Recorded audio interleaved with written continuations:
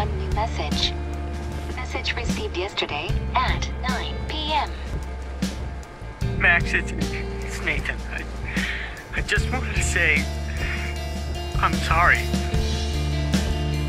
I didn't want to hurt Kate or Rachel or, or I didn't want to hurt anybody.